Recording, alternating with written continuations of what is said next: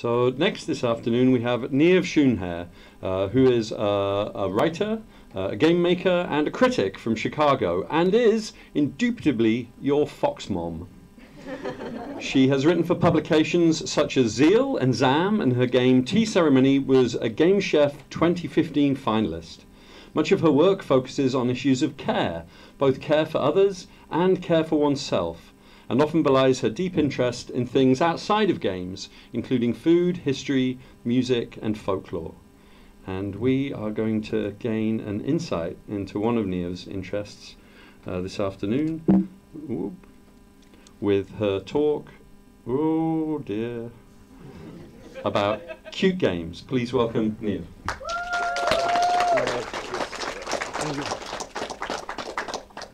Hello, can you hear me? Is this on? Hello? Yeah, I it's Okay. working. All right, so uh,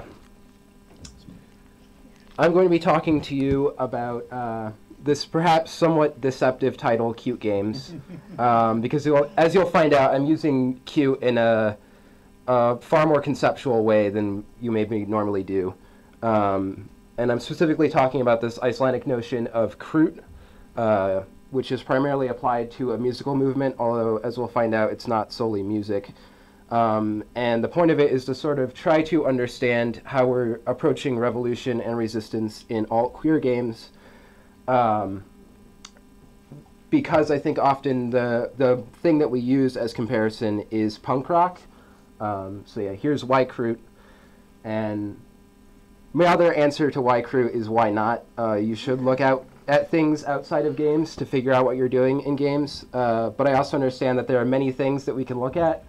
And so why specifically this? It is that punk game, punk is often what we try to look to to understand how we're doing resistance, these ideas of do it yourself, um, these ideas of sort of pushing back. And uh, this is a great piece by Zoe Quinn, who uh, was on a panel, a very good panel yesterday. Um, I'm not knocking this piece or anything. Um, I'm just saying this is, I think, a main framework that we're trying to use to understand uh, alt games and queer games right now.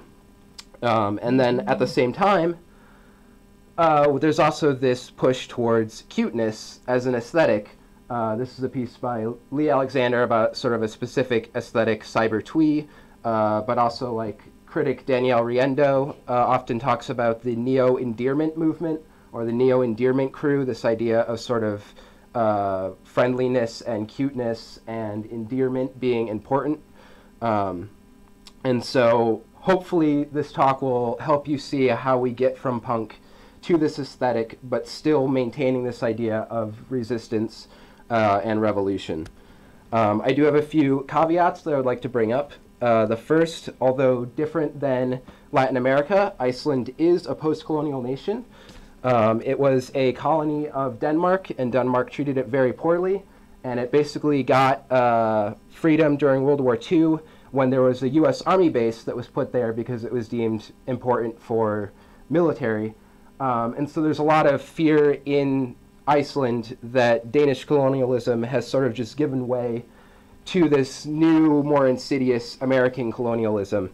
Um, and there is a lot of uh, exoticization and fetishization that happens with Icelandic culture and music in the United States, and I want us to try to avoid doing that. Um, it, what they are doing is just as complex and nuanced as what we're doing in all queer games, and I don't want us to reduce it down into some uh, exotic fetish.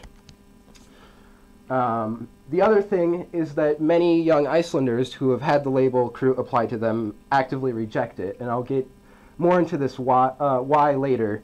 Um, but it's important to know that this is actually a label that is widely rejected a lot. Um, and the main reason why I'm using it is that there is just no other one term that I can give you to latch onto uh, to discuss what's happening.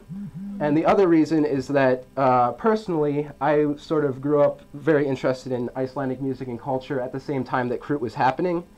And I understand that I had some distance being in America at the time. Uh, but it was a label that actually I took on because it helped me sort of deal with queerness and these ideas of uh, embracing my own cuteness. So I'm of the mind that there's no, nothing wrong with being cute, but there are many Icelanders who disagree. Um, so ultimately, this should be a point of comparison. This shouldn't be something that we are appropriating or directly copying. Um, it's more to understand what we're already doing. So I'm going to give you a crash course in the history of Icelandic music, and as all crash courses, it's going to be incredibly reductive. Um, for example, I'm going to skip hundreds of years of history and go right to the 1980s, uh, which is when punk rock happened. That's why I'm skipping here, because that's the, the jumping off point that we need. And I want to talk about sort of the evolution of punk to Krútt. Uh, so punk really took off in Reykjavik during the uh, early 1980s, and it was best documented by this film, Rock í Reykjavik, uh, which is sort of maybe incorrectly titled because it was punk, not rock. Um, but uh, so this was produced for television um, and covered a lot of the bands. You can sort of see small a lot of the names there. Um, what's interesting is that these images are very similar to what was used in the very early VHS uh, release of it as well. Again, it was originally for television. And it's front, it's like putting Björk here. Uh, that's a young Björk. And then this other woman who I believe she was the singer for Q4U, but I could be wrong about that.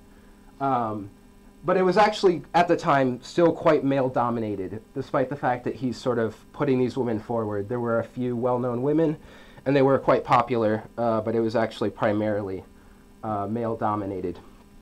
And uh, so I'm going to play a clip from, um, I actually should have made a little bit of an announcement before.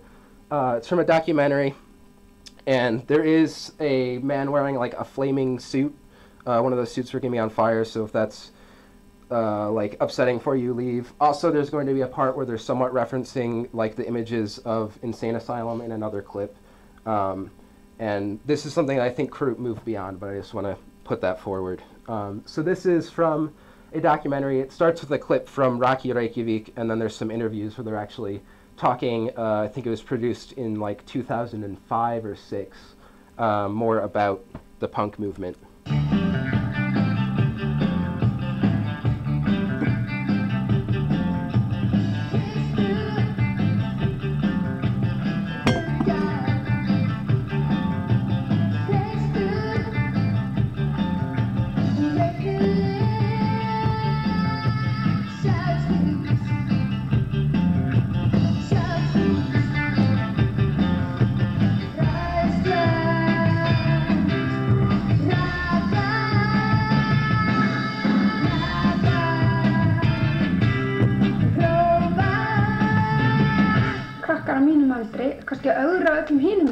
Sem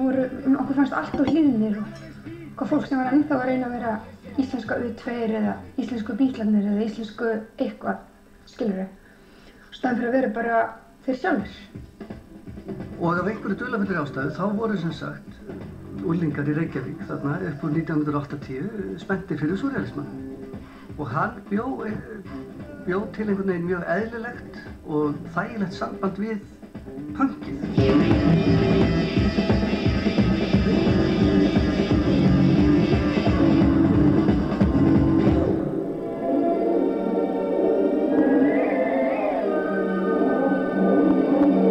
Surrealísk ljóðlist er nátengt uh, hérna gammalli íslenskri ljóðlist og Egil Skallagrimsson var sennilega einn af fyrstu surrealistunum.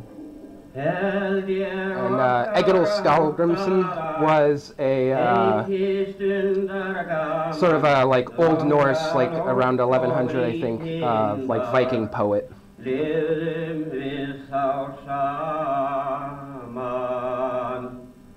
Um, and one thing I think is interesting about this clip, and I'll get back to as well, is that they are harkening back to these really old Icelandic forms in this documentary where they're talking about punk rock. Um, they're going to this, this form is called Rímur, which is a kind of reciting poetry. Um, so, uh, this is sort of the main period, uh, the heyday of punk rock, uh, which is 1980 to 1983 in Iceland. Um, and it wasn't really content with imitating or repeating sort of what was popular in America or Europe at the time, which a lot of music in Iceland sort of prior to this would be whatever was popular in the US or, Amer- or uh, Europe, but like a couple years later. Um, and this is sort of referencing earlier punk rock, but I feel like it's actually more akin to what was concurrently happening in the post punk movement in New York.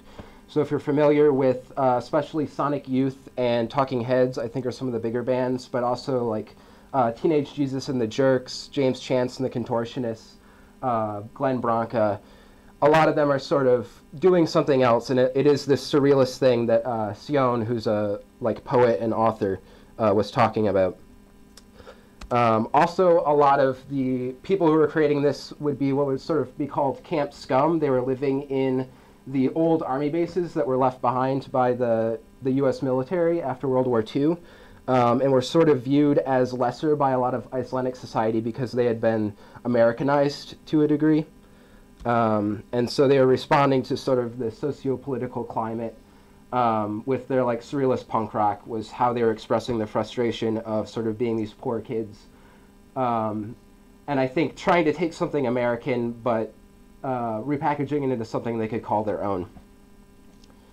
And this led to Smekkleysa, which means bad taste. Uh, it was a record label, and it was formed in 1986 to, uh, this is Sykurmolarnir, better known in the United States as the Sugar Cubes, uh, Björk's band.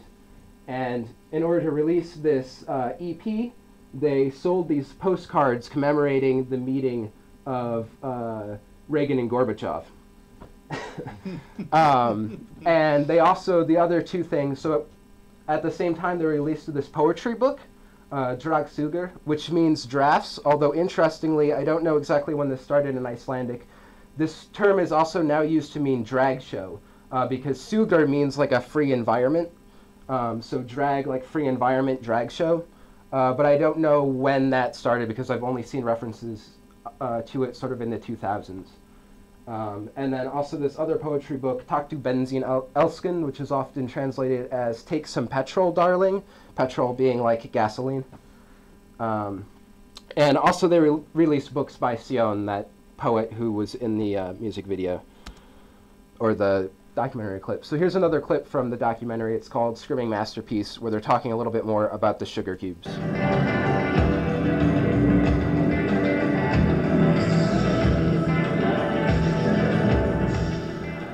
Sem gerist er það að, að þeir sem komu svona úr, úr þessu Rocky Reykjavík dæmi það stendur á þeim tímamótum að annarkvárt ætlaði að halda áfram að vera listamenn eða það ætlaði að ganga inn í samfélagi og ætlaði að halda áfram að, að, að gera list sem að væri höndlanleg og ílskiljanleg. Þá dettur okkur í huga hvort það væri ekki sniðut að búa til eina popkljósið sem myndi fylgja eftir stefnu og, stefnu og markmiðum smekklins sem sagt að heims yfir á því að dauði og sem sagt að reyna að spila eitthvað sem að, væri alls okkur ókvæmt eða sem sagt poptónlist og taka þá á þeim, þeim, þeim þeirri fóbíu, þeirri hræðslu sem við höfum um gagvart sko poptónlist og ef okkur fannst poptónlist svona upp til að hópa smekklaus þá myndum við ekki að setja það sama fordæmi við myndum bara sigra heiminn. Heimsifráðið er döið. Úrdrættur úr stefnusgrá smekklusveðsumessar. Fyrsta grein. Þar er góðu smekkur og sparnaður eru höfuð óvinnir sköpunar og velliðunar mun SMS-ið vinna markvist gegn öllu sem flokkast undir góðan smekk og sparnað. Uh, so that was a small sample of the manifesto that they released, um, which was world domination or death. And this sort of took a Dadaist turn from their more early surrealism. Uh, they became far more interested in the absurd and uh, sort of, um, like I say here, focused less on resistance as negation, sort of, we're going to do the opposite, but rather ironically reappropriating mainstream um, and subverting it. And at this time, too, because of the popularity of the Sugar Cubes, perhaps, and of Björk, there was a large explosion of uh, women as singers, band leaders, and also all women bands. Um, so far more showed up. There were a lot of uh, male centered bands, too, who, like, sort of at the worst, they were just trying to find a female singer, hoping they could cash in on popularity.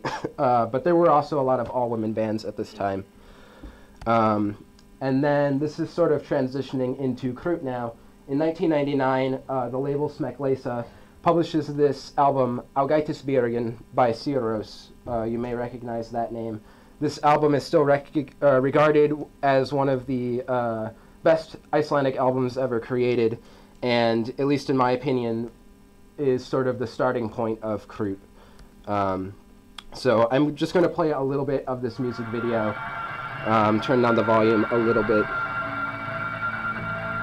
Uh, this is from one of the songs from uh, that album. And uh, I specifically chose this one because the lyrics are sort of uh, hinting at it, and the, the music video makes it very explicit that the lyrics are about the singer Jónsi's uh, difficulties growing up as gay in Iceland before it became sort of more accepting of queer identities. Um, and so these two boys that you're seeing in, in, the plot of the music video are in love and basically get torn away when kissing on like a football soccer field. Um, but I'll, I'll let the music play a little bit just so you can kind of hear some of the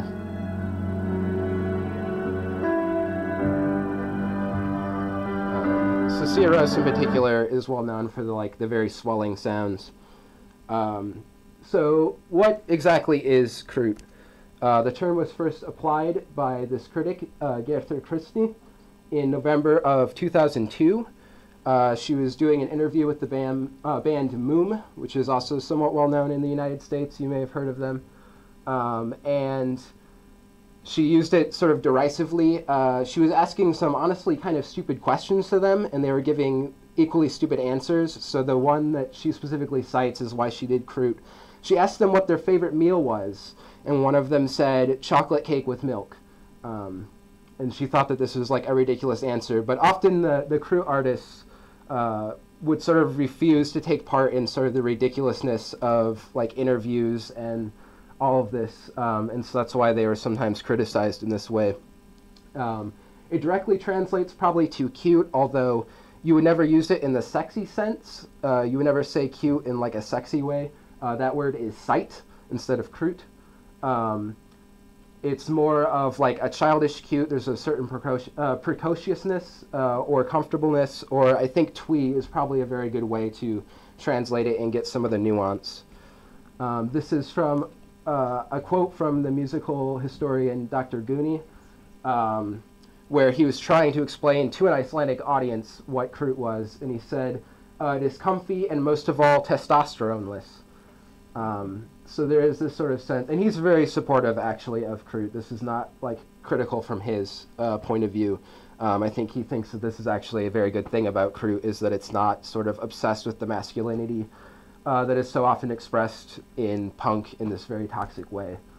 Um, and then often it is applied, uh, especially when it's being sort of derisive as Krúttkynslóðin, the cute generation, or I've seen translated as the Lovebirds generation, although I don't know where they got Lovebirds from. Um, but then it has parallels with the way that people will say millennials, where they're kind of just talking about how they hate young people and so I think that's why a lot of people, a lot of young people in Iceland don't like this word, is because as millennials, we don't really have an objection to the idea of millenniums or something. We have an objection to how they're using it to describe us. Um, and so here are a few quotes. Uh, some people, though, might dismiss it as Krútt. Uh, this is a person talking about one of his bands, uh, which is a label that's been put on a certain generation here in Iceland that's making music and other kinds of art people who, perhaps, share and portray a certain kind of innocence and friendliness. Or not. It's always a bit weird to label music like that. Many people label our music as Krútt, but no one really knows what that means. But we definitely called this definition upon ourselves when we held a musical festival last year, which was 2005 at the time that he was speaking, uh, that was called Krútt. The aim with that festival was really to kill the definition that was made up by the media, but the media just did not get the joke, uh, so they used it more than ever. Um, and then this is Ólöf Arnalds, who's sort of made a name uh, for herself as an independent artist. She was also a member of uh, Múm for a number of their albums. I think she's returned on their latest album. Um, I sometimes think that this concept, Krútt, is a reductive prefix for a group of artists that have done very well and have been extremely productive. Of course, this is a fashion and mentality movement, which is uh, a certain type of revolution, even though it's not in the form of a slap to society. This is a more quiet uprising, and I'm going to return to quiet uprising again. Um, drink some water. So now I'm going to suddenly bring in queer uh, because I want to make sure we're all on the same page of how I'm talking about queer and how I think Krútt is queer. Uh, if you were at the opening speech, uh, opening sort of panel, and Bonnie talked about the bubble um, that Naomi Clark had talked about, the, it came from, I was at the like original keynote, from this passage from the beginning of uh, Jose Esteban Munoz, uh, Cruising Utopia, uh, his description of queerness, the bubble's sort of a good metaphor of the thing that you can see shimmering before you but can't touch. Uh, but here's what he has to say uh, We may never touch queerness, but we can feel it as the warm illumination of a horizon imbued with potentiality. Queerness is a structuring an educated mode of desiring that allows us to see and feel beyond the quagmire of the present. The aesthetic, especially the queer aesthetic, frequently contains blueprints and schemata of a forward dawning futurity. So I'm going to talk a little bit about the Krútt aesthetics uh, specifically. And I may actually skip this uh, one just for the sake of time, unless you really want to see it. But uh, with this one is essentially uh, this guy making like a marimba out of stones. Um, We have 10 minutes left of the session. okay, I may I may let it play then if there's 10 minutes still, or And then this there's, video uh, is wonderful. Yeah. landslides of these ro- flaky rocks. And he goes up to them, you know, hits the stones and they produce a tone. Then he made this, you know, chromatic, you know, marimba out of these rocks.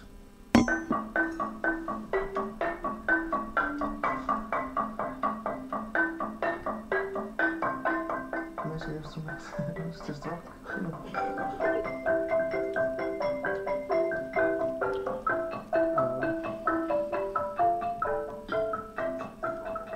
So yeah, there is this sort of interest in like uh, handmade or unique things, um, and also again, I think this is sort of tying back to this idea of like the, both the past and then moving forward into something new, because these are old rocks um, from like sort of lava flows, and then this one I'll play and also talk over.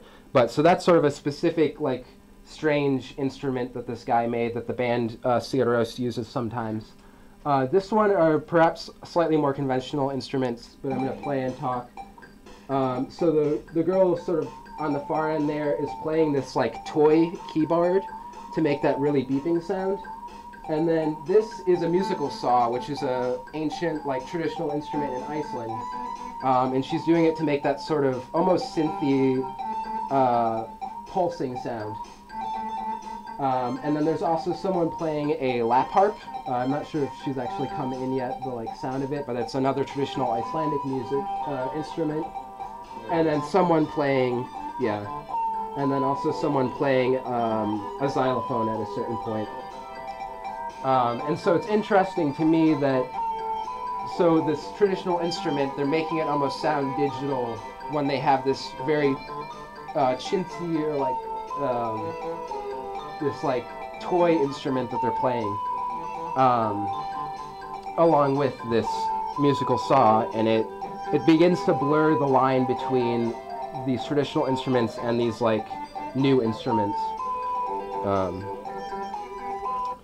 and so I only have one slide that actually shows uh, games on it, but I'm also going to talk a little bit about what's in the arcade. Uh, so here is uh, a game, Klitar, that is this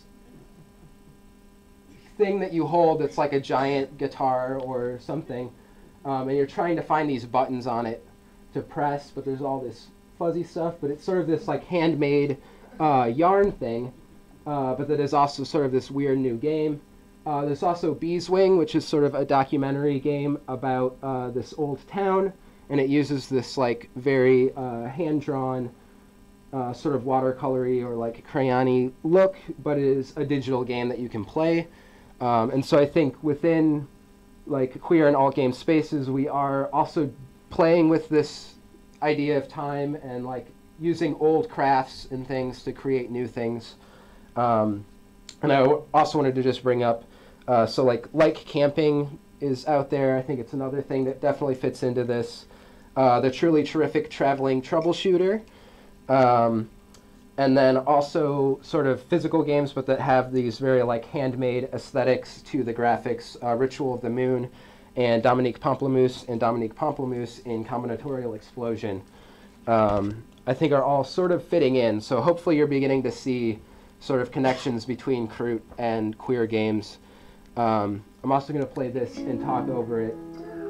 Um, this is the band Pascal Pinon. Um, oh, sounds like the audio may have cut out. Um, I don't know. Uh, but yeah, so they figure it out. they have uh, both of them are quite accomplished as musicians, but sort of as their band um, and their twin sisters.